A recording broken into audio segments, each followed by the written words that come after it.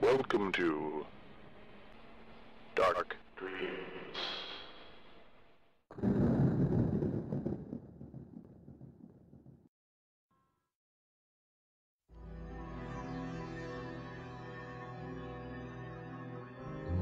full and it is dripping with blood. Now comes Blood Moon Rising magazine. Original fiction, Creature features, nightmarish artwork. interviews, and other original horror. Visit bloodmoonrisingmagazine.com and join our rising legion.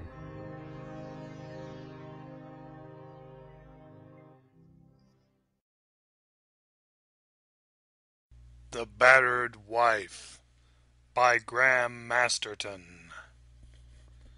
Halfway through the afternoon it began to rain, almost laughably hard, and they retreated under the canvas awning of the bric-a-brac stall.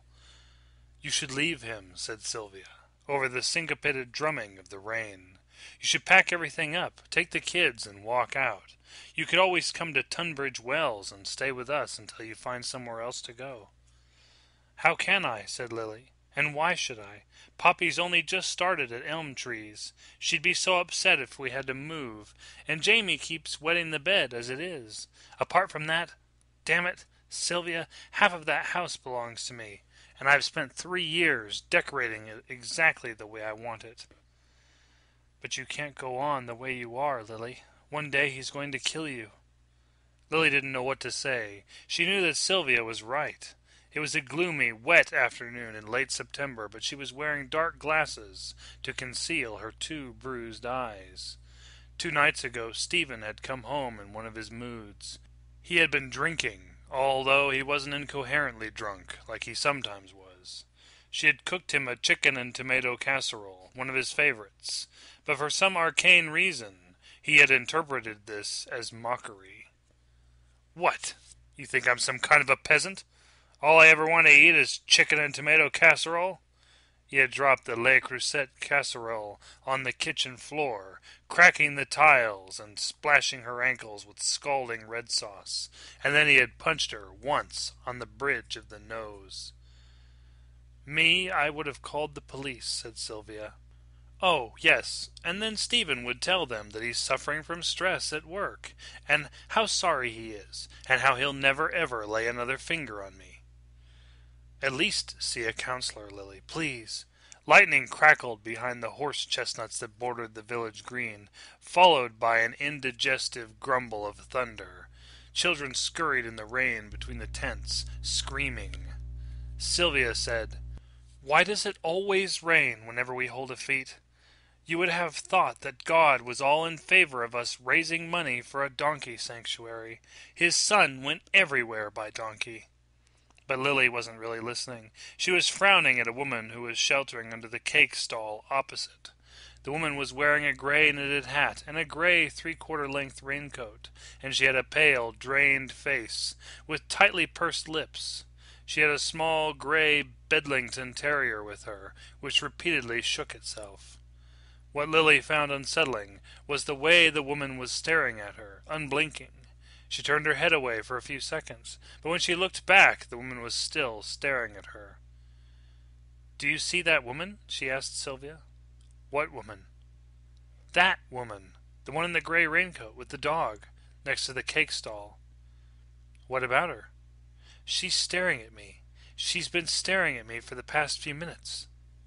Sylvia pulled a face. Perhaps she knows you. Well, I certainly don't know her, and look, she's still staring at me. There was another rumble of thunder, but it was much further away now, and the rain was easing off. After a few minutes, Lily and Sylvia stepped out from under the awning, and soon the aisles between the tents were crowded again. Lily tried to see if the woman in the gray hat and the gray raincoat was still standing at the cake stall, but she had vanished. Before she picked up Poppy from elm trees, Lily parked on a double yellow line in the high street to buy pork chops and runner beans and a fresh loaf of bread. She went into the off license, too, and bought two bottles of Merlot on special offer.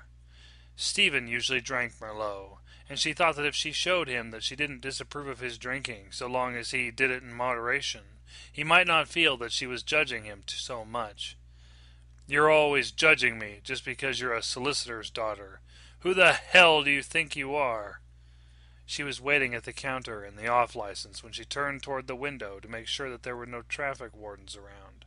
Standing outside the window, peering in at her, was the woman in the gray hat and the gray raincoat, with her Bedlington Terrier beside her. Lily was about to go outside and ask her what she wanted when the assistant took her bottles of Merlot from her and said, Afternoon, madame. Like to put your card in? By the time she had paid and stepped out of the off license, the woman had gone. She looked up and down the high street, but there was no sign of her. She put Poppy and Jamie to bed early that evening and read them a story. Crisscrossed in Snappyland, about a boy who kept losing his temper until he was taken away by monsters, who could all shout much louder than he could. Mummy, said Poppy, as Lily tucked her in, we're not going to go away, are we? Of course not, sweetie.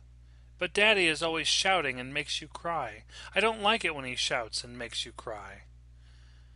Daddy has a lot of worry at work. Sometimes it makes him cross, like crisscross in Snappyland. He doesn't really mean it. I heard you tell Daddy that you were going to take us away. Well, that's because I get cross too, but I don't mean it either. That lady said you mustn't take us away. Lady? What lady? She was standing outside the playground today and she called me. She said, Poppy. Then she said, Your mummy mustn't leave your daddy. Lily stared at her. What did this lady look like? She had a gray woolly hat and a gray raincoat, and she had a dog that looked like a dirty lamb. And that was all she said? She didn't tell you what her name was, or how she knew what your name was? Poppy shook her head. The bell went, and I had to go inside. Stephen still hadn't come home by ten fifteen. Lily stood in the living room with a glass of Merlot in her hand, almost motionless, looking at herself in the mirror over the mantelpiece, as if she were someone that she didn't recognize. A thirty-five year old woman with blond, short cropped hair, and two black eyes that were now turning rainbow colored, as if she were wearing a Peretz mask. She didn't know whether to start supper or not. It was so late now that she herself had lost her appetite, and she didn't know what state Stephen would be in when he eventually arrived home. She was still standing in front of the mirror when the doorbell chimed. She went into the hallway to answer it. Through the green and yellow stained glass window in the front door she could see a dark, distorted shape. Who is it? she called out. There was a moment's pause, but then a woman's voice said, Don't open the door. There's no need to but don't take the children away. What? she demanded. Who are you? She unfastened the latch and threw the door open wide. In the porch stood the woman in the gray hat and the gray raincoat, her face as gray as newspaper. As soon as she saw Lily, she screamed out, Don't take the children away! Not tonight! Something terrible will happen if you do. Terrified, Lily slammed the door shut. After she had done so, she stood in the hallway, quaking. From upstairs she heard Poppy calling out, Mummy! Mummy! Jamie's wet the bed! She approached the front door again. The light in the porch was shining through the stained glass window, but she couldn't see the shape of the woman any more. She slid the security chain into place, and then she opened the door a little way. The woman had disappeared. All she could see were street lights flickering through the trees, and all she could hear was the muffled sound of traffic. She switched off the lights in the living room, and she was just about to go upstairs to run a bath when the front door burst open with a deafening crash. Lily! Lily! Where the F are you? She went through to the hallway. Stephen was leaning against the open door, his hair sticking up like a schoolboy's, his tie crooked. She could smell alcohol and regurgitated curry. Stephen, she said. Oh, you recognize me. You know who I am. That makes a change. He took three stumbling steps forward, lost his balance, and almost collided with her. Get away from me, she told him. Get away from you? That's not what you said on our wedding night, you bitch. Stephen, you're drunk and you stink. Go upstairs and take a shower and go to bed. Stephen stood in the hallway, swaying. He had a faraway look in his eyes, and he was smiling. Stephen, she repeated, and it was then that he slapped her so hard that she bounced against the wall, knocking her head and jarring her shoulder.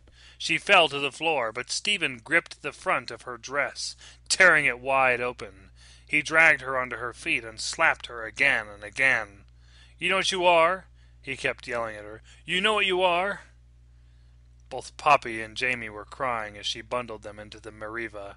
She heaved the big blue traveling bag into the back and slammed the door. As she climbed into the driver's seat, Stephen reappeared on the porch. Lily! he shrieked at her. You're not taking my kids, Lily! You're not going anywhere, you bitch! He staggered down the front steps towards them. Lily turned the key in the ignition and revved the engine. Poppy was screaming now, and Jamie was crying in a high, panicky whistle. Stephen banged his fist on the Mariva's rear window, and Lily put her foot down so that it hurtled out of the driveway in a spray of pea shingle. There was a deep, clumsy thump, and Lily saw a body tumbling in the air in front of her.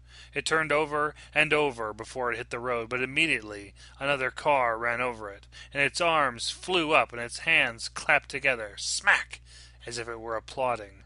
Shaking with shock, Lily climbed out of the driver's seat and stepped out into the road. The woman in the gray woolly hat and the gray raincoat was lying on her back, staring up at her blind eyed.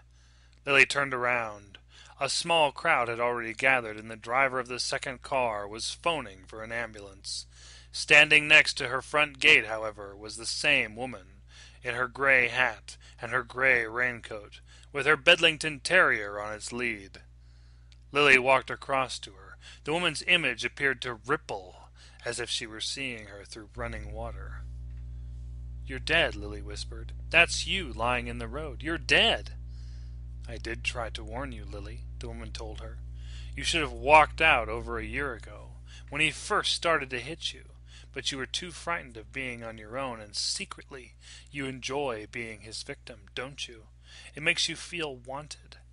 You should have stayed because now look what you've done. Lily said, I'm so sorry.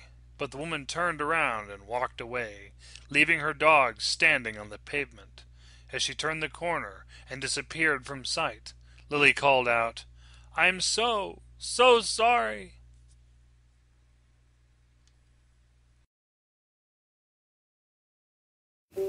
I say every house in America should have an electric chair. And every man just once in his life should sit in it, just so that he can feel the power of millions of gallons of electricity flow through his veins. I got an electric chair, that's all I need. You get an electric chair, Sheldon, you don't have to worry about the audience. You get an electric chair, you can tell them anything you want, as long as it's real.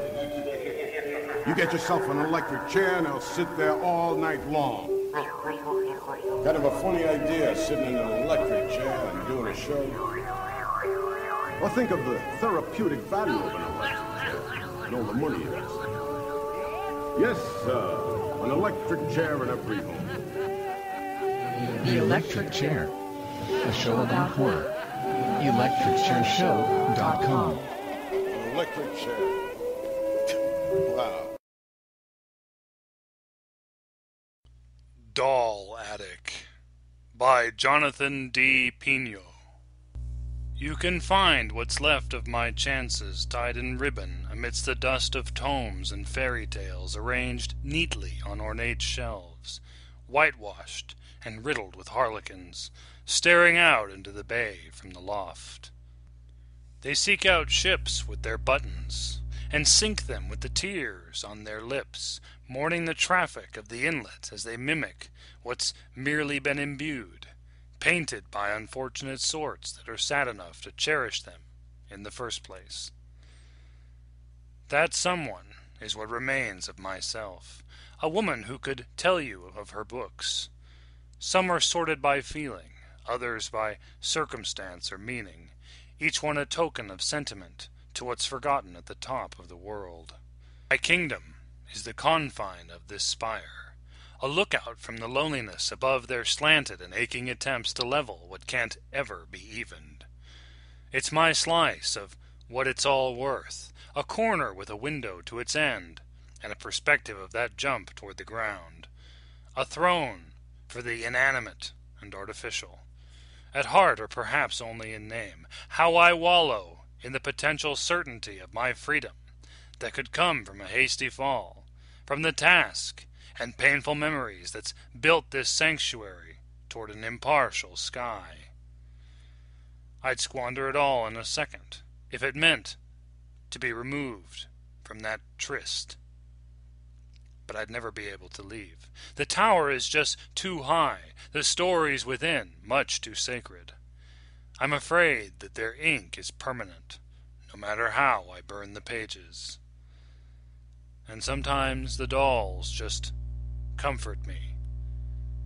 Yet at others, they write the whole tale.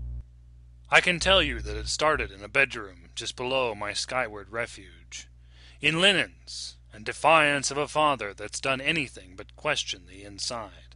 To him, it was a game of fronts, wondering about the outside's perception instead of believing in the impulse of the soul.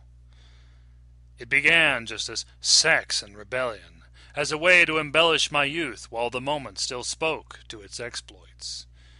He was a seaman from the nearby port, a working bloke with only labor to his name. I never fancied an interest in money, nor did I seek out his face for glory. It was merely an exploration of feeling, the kind you get when you're twenty and impassioned by the stories they feed you in homeschool, the literature that defies the odds. You've been locked away for the better part of a decade, and the only way you could know you exist is by wishing that you were a part of that sea that roared so unruly near rocks, the shores being drowned in its rage, stubborn but prone to erosion, much like will of a youngster. I couldn't just say no to the tides. I had to swim in them instead of pass them by off the lifeboat that sheltered me helplessly from what my existence craved most in earnest. We met on a brisk autumn evening, just as the sun had receded and my parents retired to the study. From the top floor, I crept into the corridor and down the stairs that led into the foyer. My mother was chattering so feverishly that she didn't notice the faintest footsteps, distracting my father in the process as I left the main entrance ajar. From the path, it was a twenty minute walk until I reached the edge of the port, wandering into the bustling pub with the fear of the unknown in my gut. It was near the entrance he spotted me, glancing over from his seat at the bar. I hung my coat on the rack and paced nervously toward a spot he'd been saving. You look better from this side of the window. He sipped from the edge of his glass. I didn't think you'd recognize me so close. I thought maybe my descriptions would help. You've been reading the letters I sent you? He gazed at me in the flickering firelight, the iron lamps dangling just above our heads and illuminating the tavern's interior in a rugged but entrancing glow. I watched him go to his pocket and pull out a collection of envelopes, bent from exposure to the elements most likely his ventures offshore. He hesitated as he spoke. You know, I'm not I'm not as experienced as some of these guys would have you believe. Never seen a woman so beautiful. Not just outside, but on the inside as well. These letters, they remind me of glass. So well crafted and fragile to the touch. Complex in the way that it's made not just how it could break. I felt my heart flutter in my chest. Like porcelain? Yeah, just like porcelain. I savored the melody of his brogue. You know, I didn't think we'd ever meet. You sending them letters to me through the servants was a real clever idea. I bought you. I, I brought you something. He reached into a bag on the floor, pulling up the most beautiful of ornaments. A doll made from the finest china, foreign and exquisitely detailed. My mouth hung open in surprise. How could he have possibly known? I see that attic of yours through the pair of binoculars, too. You've been building them dolls for a while. I, I figured you may like an exotic one. He wasn't just a handsome face waving at me from a boat off the coast, looking for my light in the window to acknowledge that I was thinking of him, too, well into the darkest night. This wasn't a wayward signal or desperate cry from beyond the divide of our worlds. It was a truth, a pleasant here and now, a warm embrace that was forged in trust over years of wondering who each other was. I wanted you to know that those letters, I could only write in the faith that you would respond. I knew that you would if I did. I knew that I could if you accepted them. Ellie, I was waiting to accept them. Each time I pulled into port. I remember him carrying me home, in his arms and the security of his kiss. We found our way into the bedroom, upstairs, and in spite of my family, with all love in the world in our midst, our bodies an extension of its bliss. He worshipped me and made me whole, young and inexperienced as he was, as I was in the reflection of his eyes. It was the rhythm of a thousand meanings converging into one defining moment, through a lark that we both happened to entertain. But then the morning came. I heard the gift shatter as he opened my door in a fit. Out! I want him out! Right now! My father saw us wrapped in the sheets, still clinging to each other as the early sun washed over our skin. Out! He looked back as he gathered his clothes. You know, Ellie, just like porcelain. I never saw him again. I never fixed that figure on the floor. Instead, I just created a bunch of others, as I marched up into the void of that haven removed from where my happiness was made useless, and I a maiden betrothed to the clouds. Upstairs in the attic where I saw him, where he realized I was fragile like the dolls, perfect even in their destruction, frail at their innermost core. This time, I'm not thinking of the fall.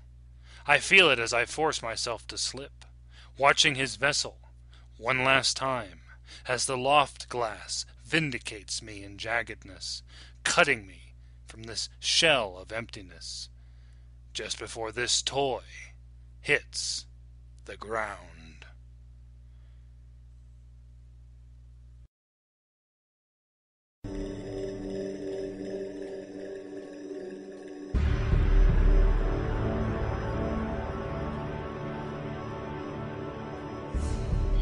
Horrified Press. Horrifiedpress.wordpress.com.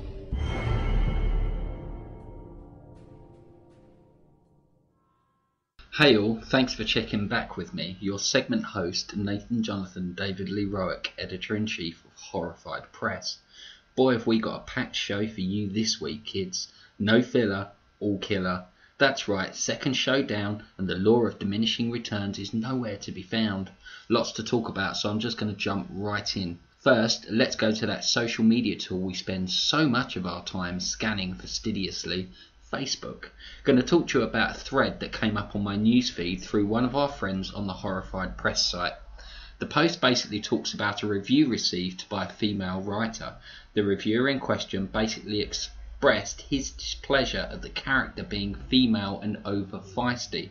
The post reads as follows I got a comment about Coyote a while back. A guy said he was fed up with all these Uber women and that maybe they served a purpose a while back, but it really didn't need that now. First, I'd like to clear up that Coyote isn't Uber at all. She has a lot of weaknesses, but she is just confident and the best gunslinger. Those are her talents. But the comment made me raise my eyebrows. Why wouldn't we want them now?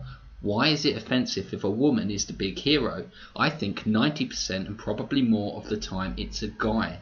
So why would it be so offensive if, if once in a while it's a woman? We don't even see it with the guys anymore. That's just normal. I've heard comments like this before, and to be honest, it breaks my heart.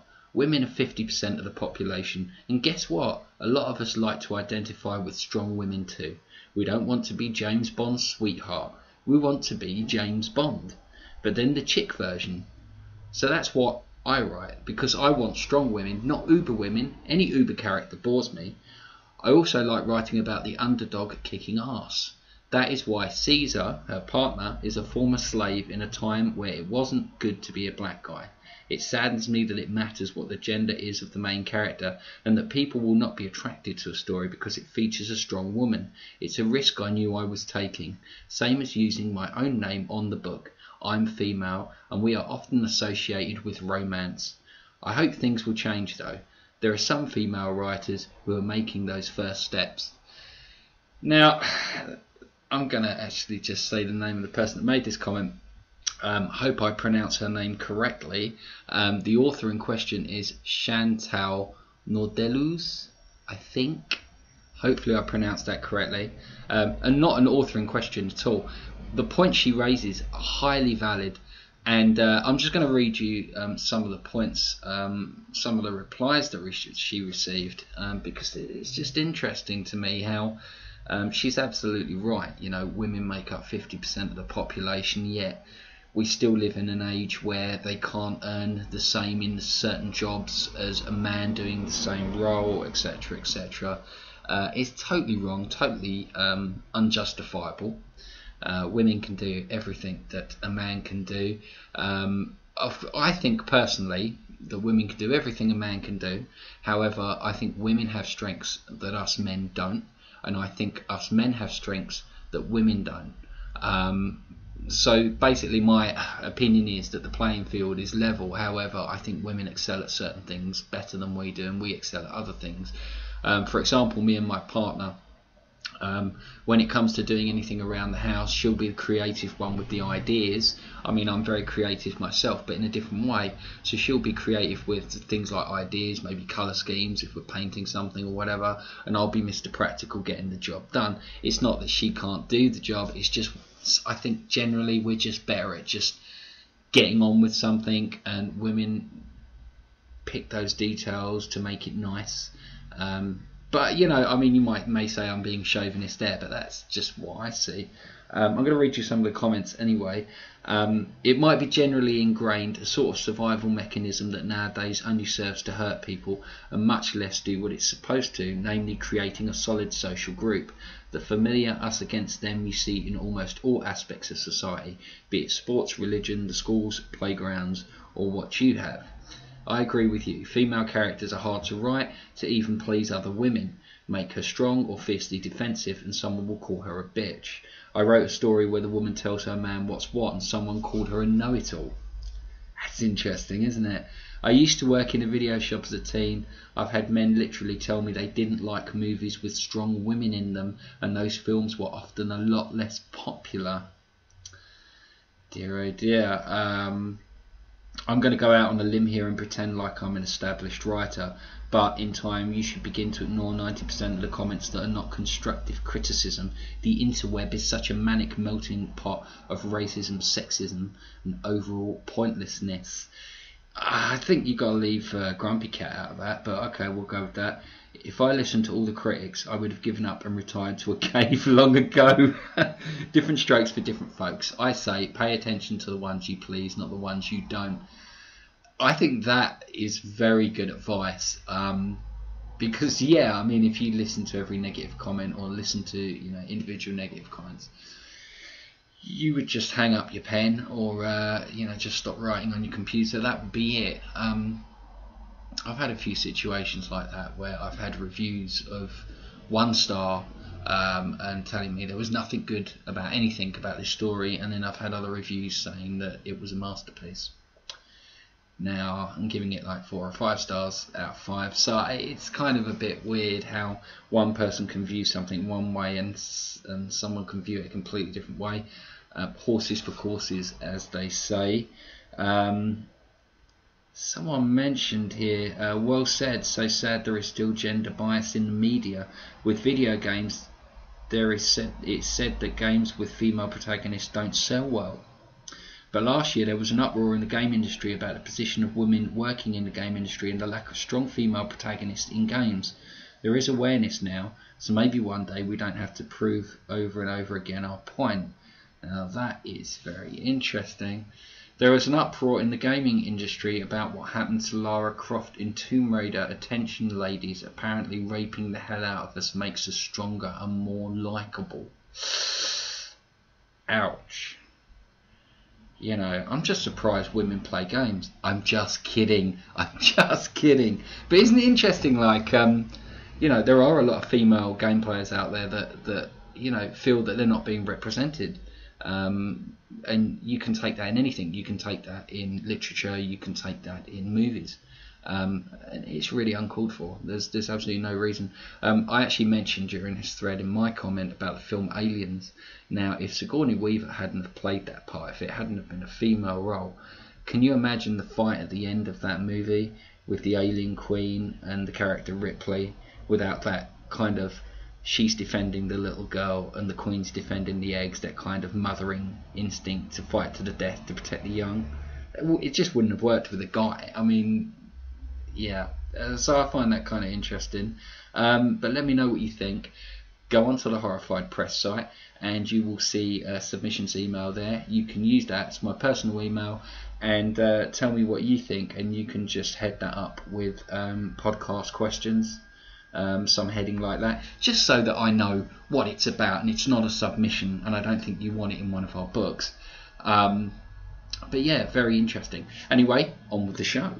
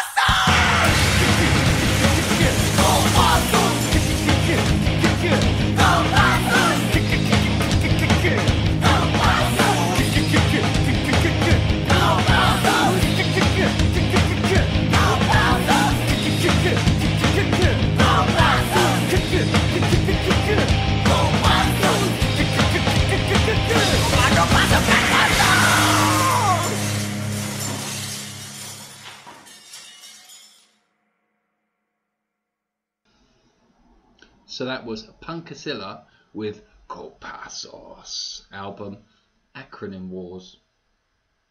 Okay, so moving on, more on the uh, social horror um, side of things for this. Uh, there's so much to talk about with this world that I despise. Um, but we're going to go into the world of fandom now. We're going to talk about my favourite show. And my favourite show, of course, is um, anyone knows me, Doctor Who. It was one of those shows I watched from about the age of six years old, and it really gave me an idea of fantasy. Um, it, it, opened my mind to new concepts, to scientific concepts, and I just found the show amazing, and still do, on and off. But anyway, Matt Smith was good though. I'll give him that. Now, big problem. Um, to me, it's a big problem, and to a lot of people I speak with in the UK, it's a big problem. Other people I've spoken to don't see it as a big deal. It's just really, really annoyed me. What it is, basically, big event in America, biggest one for shows to exhibit their new material, Comic Con. So they made a trailer for um, the special Doctor Who episode they're showing this year. For those that don't know, the show is 50 years old. And they're doing a, a big special, you know, film 3D episode um, to be transmitted on November 23rd, which was the original date that the first episode was transmitted on. So it's a it's a big year for Whovians, and yeah, you know, I'm I'm I wouldn't say I'm not like a super fan. You know, I, what have I got around my flat? I've got like a wind up Dalek and a couple of books, a few DVDs. I, you know, it's not like that, but I enjoy the show. I like to watch it if it's on. I'll watch it, that sort of thing. So anyway, um, they showed this trailer at Comic Con, and they made it exclusive for Comic Con, which we were all like, fair enough, okay. Now, bear in mind, Comic Con is uh, in America, and I'm, I'm glad that the people that went to Comic Con got to see it. They paid, they deserved to see it. That's fine. Uh, also, they showed a just to mention a trailer for a origin story that they're doing for Doctor Who called Adventure in uh, Space and Time as well. So anyway, uh, basically, long story short, they haven't showed it to uh, the rest of the American audience or the worldwide audience, and they certainly haven't shown it to the UK audience, even after the event. You know, a few weeks after the event, which we expected they would. I think this is bang out of order. Reason being, the BBC isn't a corporate channel. The BBC is funded by British license payers mainly, who pay uh, a government uh, enforced. It's like another tax really called the license fee. If you do not pay the license fee, you can go to prison. Pay for the content for the BBC. BBC is a channel in the UK that has no advertisements. It has a charter which it has to follow so that it's representative of all the different peoples and different tastes in the UK, and obviously they export shows abroad, which is great, and I'm glad. That's fine about all of that. The problem is that they've made this trailer with content that we've paid for mainly, and I know that there are other people around the world that have BBC services as part of their cable network, and they pay their cable operator, so you know a fraction of that money goes to the BBC. So I do understand that. But the thing is, I think beforehand, or at least after the exclusive at Comic Con, because we've mainly paid for the making of the show, and because the BBC is answerable due to the charter to us by law as well, I think really they should show it to us. And they're talking about not showing it at all, and I just think it's out of order. And I'm not a big fan of the new showrunner. Well, I say new, he's been there three years now. Steven Moffat. Not a big fan of him at all. I think he opens up grossly epic storylines. Like I, I say, grossly, he, he grossly overblows the story to to think that you're getting a conclusion later, which never comes. It's sloppy writing, uh, which I don't like. Um, 50-50 of the shows now I like. But that's not the point. 50th anniversary. Got to stay positive. Got to stay optimistic. He gets it half right, in my opinion, most of the time. So that's all right. And he brings on some big writers as well, which who I love, and their episodes are always good. But yeah, so anyway, I complained to the BBC because I just think it sucks, and this is what they sent me back. Dear Mr. Rowark, thank you for contacting us. I understand you are unhappy a trail for the 50th anniversary episode of Doctor Who was shown at Comic Con. Well, first of all, let me just interrupt there. I never said I was unhappy with it. I never said it was a problem. you know, the BBC are funded by us, but whether they make a trailer or not is up to them. We don't have any say in the running of the corporation, yeah, or the shows that they make. But if they make a trailer, we should eventually see it. Eventually, even. Yeah. Anyway, I'll get back to this. This was an exclusive Comic Con trailer made especially for the Doctor Who 50th panel, and it has not been released in the US. This world famous international event is an established platform used by all of the major producers. UK fans can look forward to exclusive content over the next few months. Nevertheless, I'd like to assure you that I've registered your concerns on our audience log. This is a daily report of audience feedback that's made available to many BBC staff, including members of the Doctor Who team, the BBC Executive Board, and other senior managers. The audience logs are seen as an important document that can help shape decisions about future programming and content. Thanks again for taking the time to get in touch. Kind regards, blah blah. Now, it doesn't really address anything I've just said is really my concerns. I haven't got the original message which I sent them, but it's pretty much what I've just told you beforehand. This does nothing. I mean, uh, we're going to get what exclusive content over the next few months. If this means like they're going to do things like um, show us like teaser trailers of two minutes, and rather than what we've been explained happened at Comic Con, because a lot of people, basically, the showrunner Steven Moffat uh, decided to kind of almost threaten the audience by saying, you know, there'll be no more exclusive content ever if you show this on the internet or whatever afterwards, you know, because people film these things at the events. Now the thing is, it's a bit of an empty threat because trailers basically aren't really made for uh, the audience to be happy. You know, trailers are made as an advertising tool. Okay, we all know it. So it's a bit of an empty threat anyway. But you know, he didn't say anything about anyone describing the trailer. So people have, that were at Comic Con have been very nice, nice enough to explain to us fans what actually went on in the trailer, and we want to see that. You know what I'm saying? But again, you know, I don't know what you think about that, and I don't just think us in the UK should see it as well. I think the whole the US audience around the world, the BBC audience that are big fans of Doctor Who should see it. Okay, because that exclusive, that's done. That was weeks ago now. You know, don't be arses. You've made the trailer. Just release it and let the fans see it because it's only going to encourage them more to watch the actual special, which is going to be uh, broadcast simultaneously around the world. So you'd think they'd really want to be pushing it anyway. Thank you.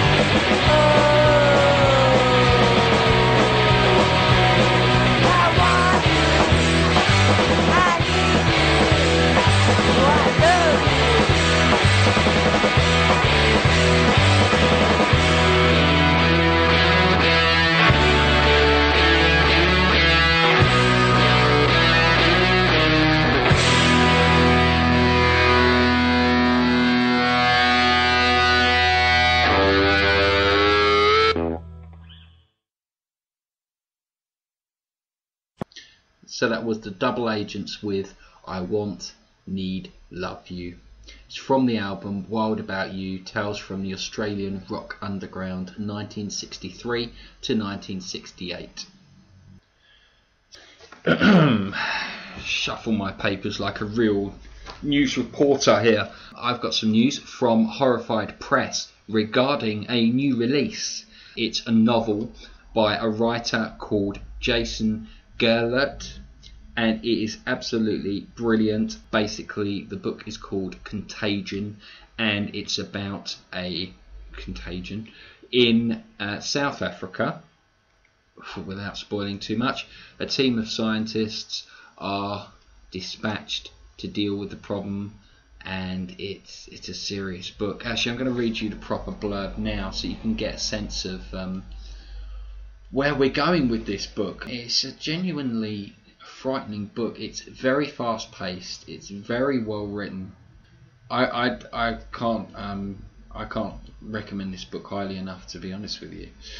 I've read a lot of books in my time. Obviously, I write reams and novels of my own work, and I've, re- I've read, well, I must have edited well over 90 different authors through Horrified Press, so I do have an idea. And I'm telling you, this book is fantastic. Also, fans of old school horror, you know, that old school 80s horror, you guys are going to absolutely go crazy for this because this is what you've missed. You know, this is what was left behind, and it's got a lot of modern twists in it as well. It's a, it's a great story. When world renowned Dr. Quentin Forsyth goes missing after travelling to a decimated colony in the heart of South Africa, a team of doctors must find a way to save one of their own when a sinister new virus is unleashed. Doctors Judas Sturgis and Katie Madison embark into the colony to find their missing colleague, Dr. Quentin Forsyth. It's a race against the clock when the US military, led by Captain Nathaniel Logan, arrives on orders to quarantine the whole area. A fractured rebel army arrives with their own dark agenda, and Dr. Sturgis starts to unravel from the seams. Can Katie Madison and Captain Logan hold everything together and find a way to save the colony or risk becoming her next victims? Horror Fiction Review calls it fast paced, reads like a cult classic horrorworld.org says Gehlert has genuine storytelling ability. So, uh, buy it. It's out on the 26th of August from Horrified Press. Um, it's a re release, um, it was released previously. This is a new version, and it's a great book, and it's been updated, and I think you're just going to love this book. So, make sure you join us for that one.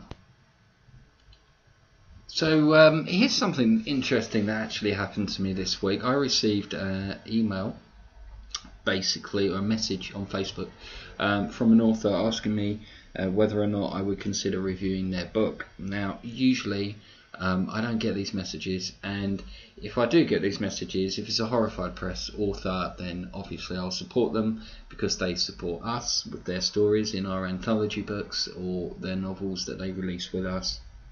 So that's all well and good.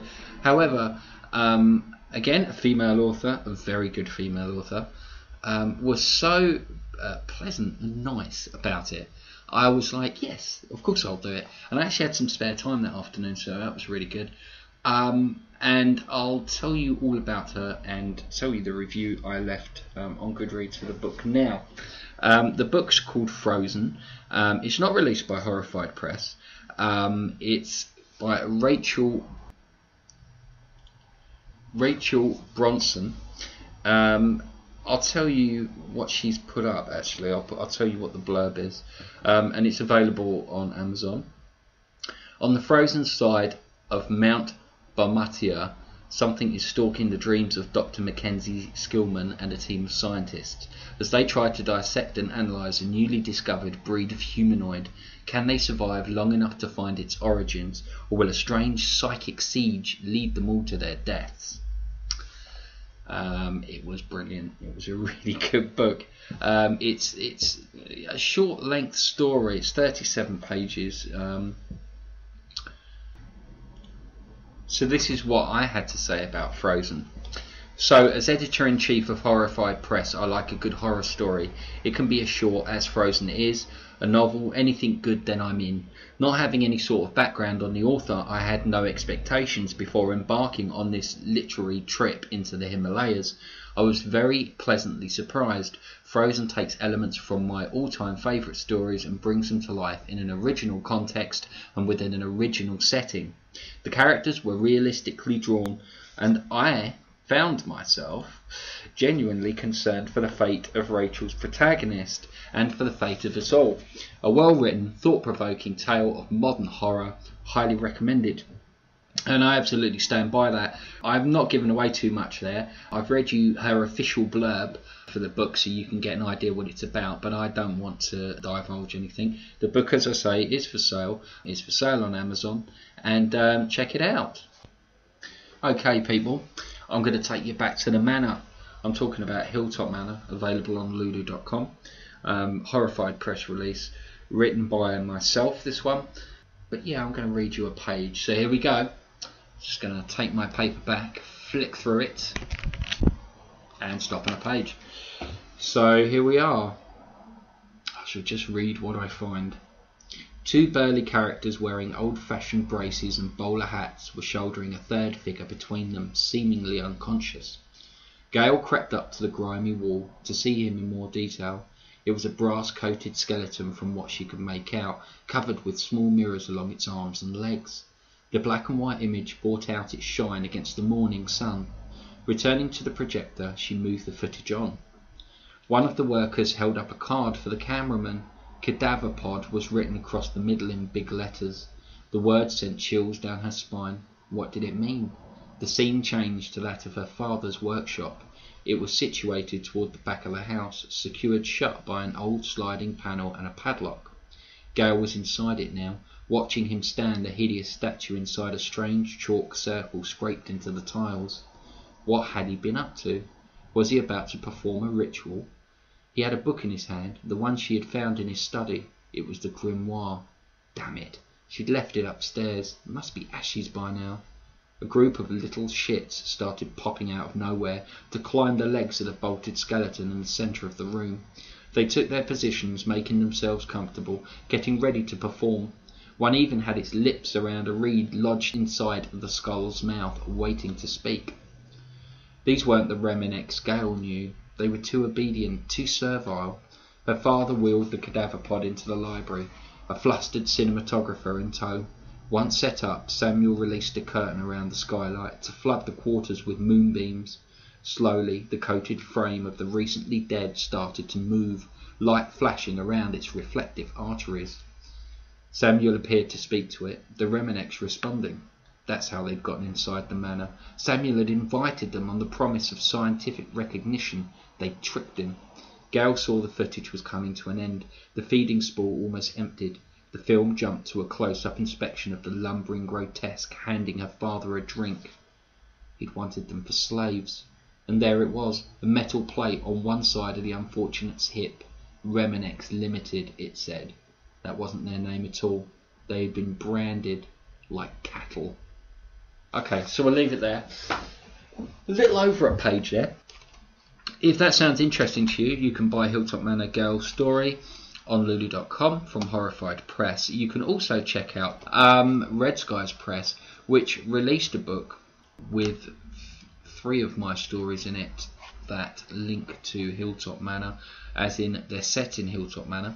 Uh, they were three short stories and they've been put together under the title Carriage 13. So you can find out more about cadaver pods, a lot more about cadaver pods, and about previous occupants and other occupants of Hilltop Manor in Carriage 13, a novelette, and that was released in an anthology, techno goth anthology by Red Skies Press. And uh, the editor of it is